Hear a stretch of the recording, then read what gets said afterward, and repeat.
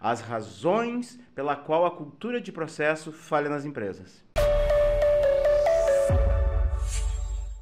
Existe uma grande diferença entre processos e cultura de processos. E eu vou explicar. O que, que são os processos?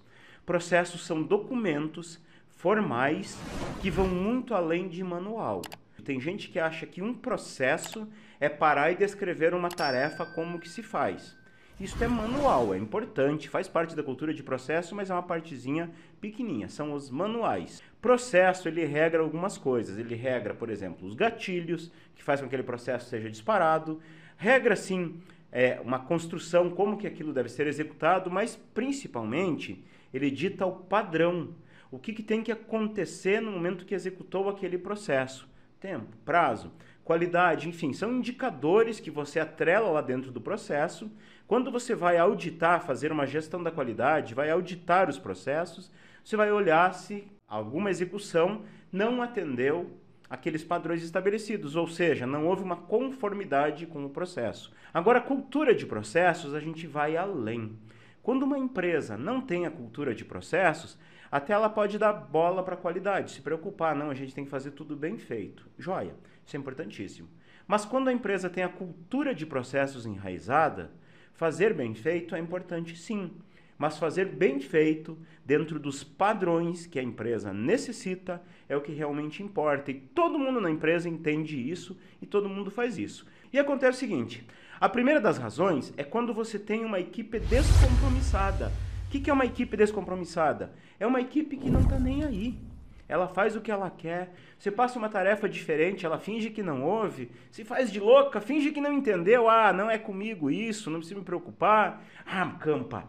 Mas é que hoje ninguém quer nada com nada. As pessoas não querem, não querem trabalho, elas querem emprego. isso é papo de empresário tradicional apagador de incêndio, tá? Totalmente papo furado. Por que, que é papo furado dizer que não tem pessoas comprometidas, que ninguém quer nada com nada? É papo furado porque a gestão de pessoas dentro da empresa está totalmente amadora.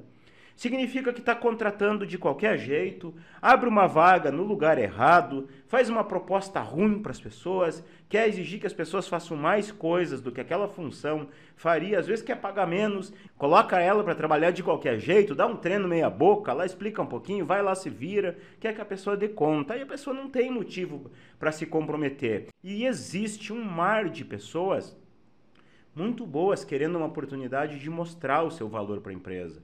Mas muitas vezes aquele empresário amador ele não está vendo isso. Ele só sabe reclamar, só sabe cobrar, não sabe passar as coisas. Aí não tem como a cultura de processos funcionar. Para a cultura de processos funcionar, ela precisa de pessoas, pessoas que peguem junto. Porque, ó, cultura de processos não é chicote, não é você robotizar as pessoas. Muito pelo contrário, cultura de processos é você aproveitar a, a, aquela capacidade que as pessoas têm, a competência que elas têm e você elevar isso num potencial gigantesco, num potencial que fecha com aquilo que você quer, com aquilo que você entende que é o ideal. Isso é cultura de processos. Segunda causa, tá? Segunda causa da falha da cultura de processos é o que a gente chama da documentação errada de processos, tá? Essa é a segunda causa. O que, que é documentação errada? É a pessoa fazer de qualquer jeito. Pega um artiguinho lá no Google, lá e tem muita coisa. Como fazer processos na empresa. Pega o primeiro artigo e ó, começa a escrever, escrever, escrever. Não vai rolar. Todo mundo que está na internet hoje dando dicas, ele tem um método por trás. Um método que tem que ser seguido de passo a passo, do começo, meio até o fim. É esse método que garante o resultado. Então, quando você vai para a internet, faz uma pesquisa rápida lá e quer aplicar aquilo ali, você está vendo uma parte. Quando você vê uma parte, não tem como funcionar. É tipo você comprar um motor de uma Ferrari e querer colocar em cima do Fusca, de um Fusca. Então, por isso que documentação falha é um grande causador de, da, do, da, da falta de resultados da cultura de processos. A terceira razão é quando o alinhamento foi ineficiente. O que, que é o alinhamento ineficiente? Ó, veja bem, são dois pontos essenciais para a cultura de processos funcionar. Primeiro ponto é a equipe altamente comprometida. O segundo ponto são os processos padronizados devidamente feitos, tá? Então assim, ó, e tem que estar tá casado. Você tem que alinhar a documentação com as pessoas. Isso tem que fechar. E só existe um jeito, guarda isso que eu vou te falar, ó, guarda.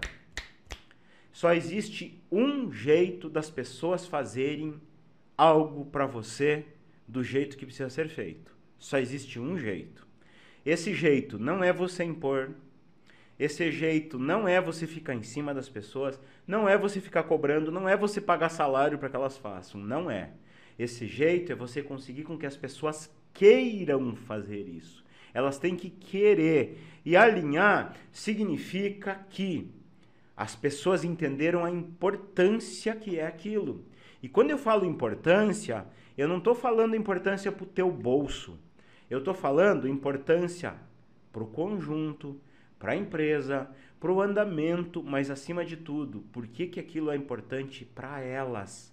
Por que, que elas têm que se preocupar com isso? Se elas não entenderem a importância disso para a rotina delas, esquece. Mas então, quando que a cultura de processos falha nesse terceiro elemento, que é o alinhamento inexistente? Quando você não prepara as pessoas, quando você não conscientiza as pessoas para aquilo. O quarto ponto de atenção que eu quero trazer aqui, ó, o quarto ponto de atenção se chama ausência de auditoria. O que, que significa isso?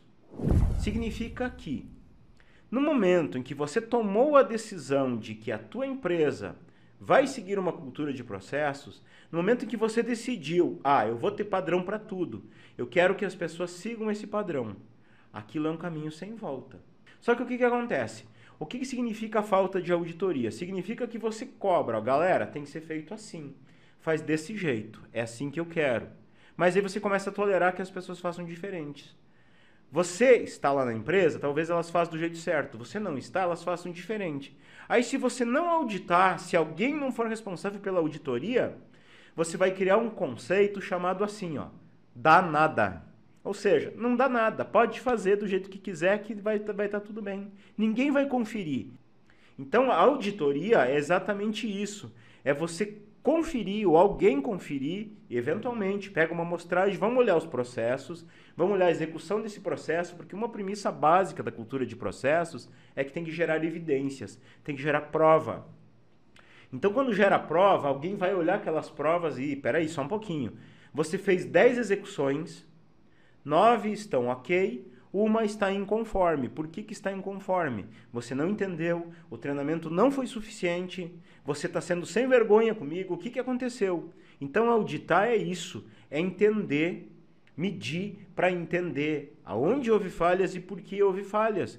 A auditoria tem que acontecer. Quando não há auditoria, você está fadado a condenar a cultura de processo na tua empresa. Então, a quarta razão para a cultura de processos não funcionar é a ausência de auditoria total. E eu deixei para o final aqui a última, a última e mais importante. E a última e mais importante é aquelas que provavelmente você não quer ouvir. Quer se ofender comigo? Beleza, problema é teu. Não estou preocupado se você vai se ofender ou não. Estou preocupado que você vai entender aquilo que eu estou falando. Quando eu falo isso, algumas pessoas ficam brabas, outras param para pensar e me ouvem. Mas acontece o seguinte: este, esta quinta razão para a falha da cultura de processos é a maior de todas. Sabe qual que é? É o empresário despreparado. O empresário despreparado, ele quer criar a cultura de processos, ele quer que todo mundo siga. Ele acha que aquilo ali é fórmula mágica. Ele acha que, ó, varinha mágica. Faz uns documentos lá e as pessoas vão seguir e pronto. Mas ele não está preparado para isso. O que, que significa ele não estar tá preparado para isso? Acontece o seguinte, ó. Como todas as profissões, existe o amador e existe o profissional. Qual que é a diferença entre o amador e o profissional? O profissional é aquele que estuda, aquele que aprende um método, aquele que segue um método, que aplica, que pesquisa, que se dedica, que vai a eventos, que vai a feiras, que busca conhecimento, faz cursos, faz imersões, participa de mentorias. Esse é o cara profissional. E o empresário profissional ele está preparado. Mas preparado para quê, Campa? Ó, quando você vai criar cultura de processos na tua empresa, o que, que acontece? Se você tem 20 pessoas, 20 funcionários com você, você pode ter certeza. Sendo otimista, quatro ou cinco você vai perder. Ou você vai ter que mandar embora, ou eles vão pedir para sair. Fato. Vai acontecer isso. Vai acontecer. Por que, que vai acontecer? Aquelas pessoas que não têm uma índole assim 100%, que não é uma pessoa de boa fé, ela tende a tirar vantagens quando a empresa está desorganizada, quando a empresa não tem a cultura de processos. Que tipo de vantagem, Campa? Muitas vezes esconder uma incompetência, muitas vezes vagabundear, roubar tempo de você. O que é roubar tempo? A pessoa está ali para trabalhar 8 horas, trabalha 6, fica no celular, fica às vezes prestando serviço para outros clientes, concorrendo com você. Isso é mais comum do que você pensa. Às vezes fica estudando para uma prova que ela tem na faculdade à noite, fica ali escondendo. Então ela esconde. Quando a empresa não tem a gestão, ela esconde. Ela esconde que ela não sabe fazer, ela esconde que tem outro que sabe fazer mais do que ela, e às vezes até a má fé. Roubo mesmo. Está roubando alguma coisa. Então, quando, você, quando ela percebe que você vai querer organizar a casa, vai querer padronizar, você acha que essa pessoa vai ficar feliz? Então, você tem que estar preparado para isso. Preparado não só para essas pessoas que você vai perder, porque lembra que eu falei de 20, 4, 5 você vai perder. Fato. Mas aquela galera que você não vai perder, você vai ter que estar preparado também para que você possa ser firme. E o que é ser firme? Pessoal, é o seguinte: a partir de agora é assim. É isso que a gente quer. É, é, a empresa vai funcionar desse jeito. Nós temos que seguir isso aqui. Isso é estar preparado. Deixo o meu forte abraço e o desejo que você viva positivamente. Tchau, tchau.